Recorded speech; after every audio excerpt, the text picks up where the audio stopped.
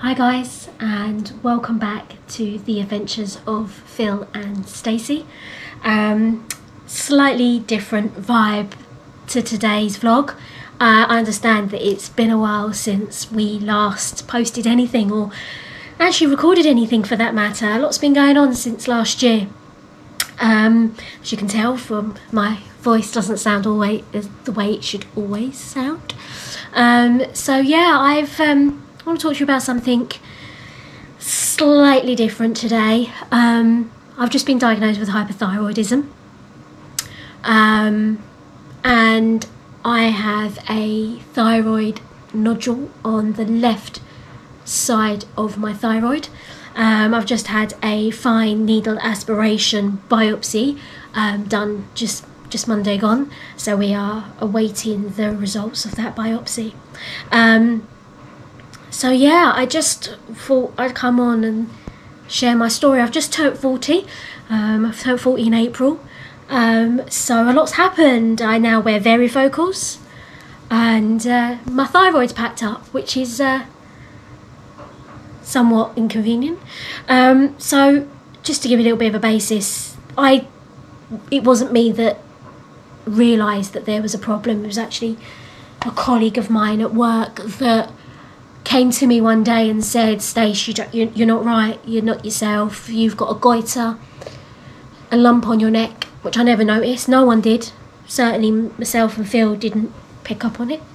Um, I had been feeling under the weather, or not quite right, I don't want to say under the weather, I would say just not right for several months.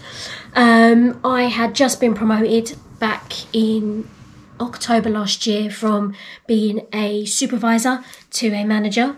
Um, I work shift work, I work at um, Stansted Airport in terminal security, and I'd just been promoted. So I'd gone from doing an early shifts, say 3:30, 4 a.m. starts, to to doing 10 hour days, five days a week, to going from that to yeah, 12 hour day shifts, 12 hour night shifts, um, transitioning from getting lots of rest and lots of sleep to most weeks having days where I would be awake for a 24 hour period.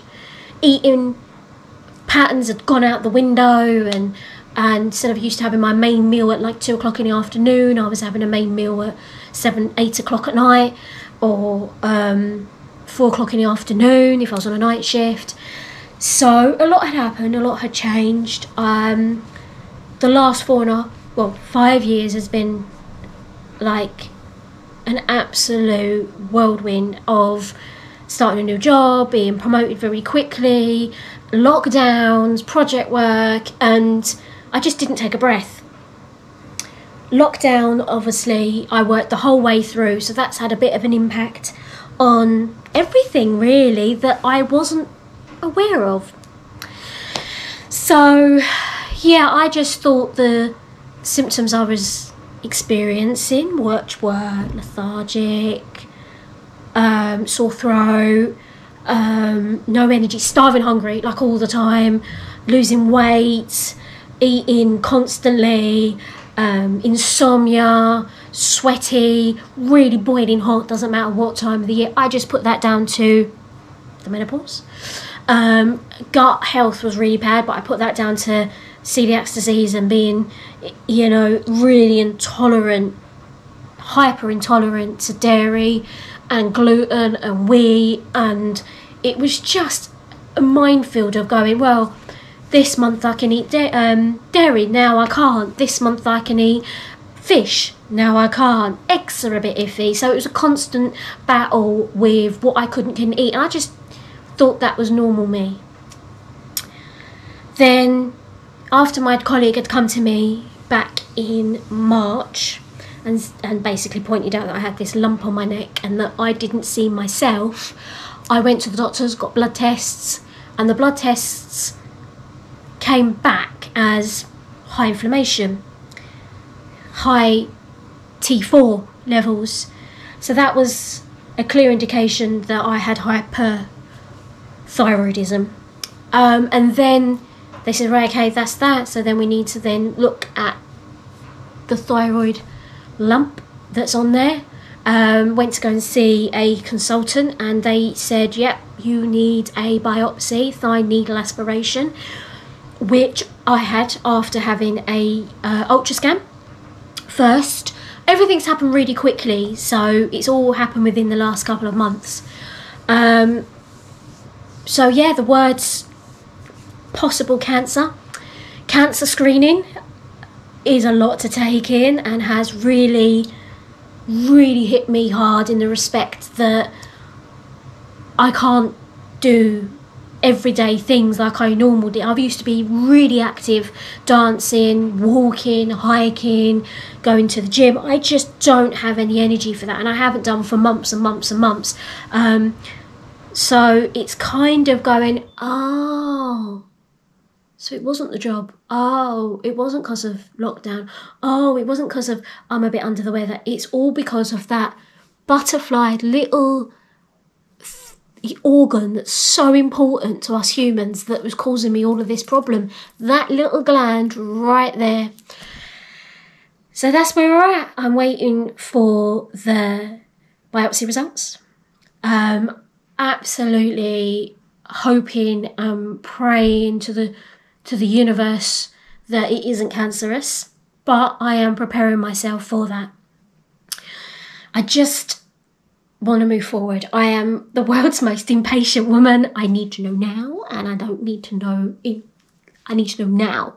I need to know now so we can move on, get an action plan in place, and then I can get better and get my damn life back. My career is very important to me, but it has taught me that I need to listen to my body. We're now. So it's going to be this new adventure that I'm going to share with you all. Hopefully, the next video I make would be positive.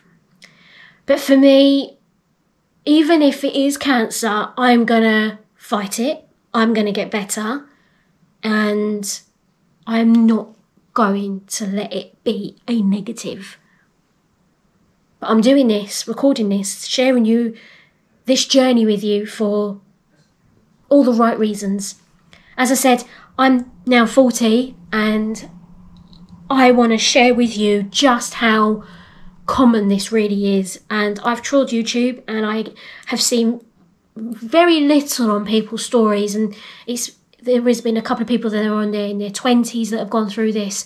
So I think it's something that I would love to share with you and hopefully help other people through their journey. And yeah it's cathartic for me as well. Something that i can i can share to help me really. So hopefully when i come back uh, for my next vlog with you guys it will be the results of the biopsy and what happens next. Thanks guys for listening and i look forward to talking to you soon. Take care for now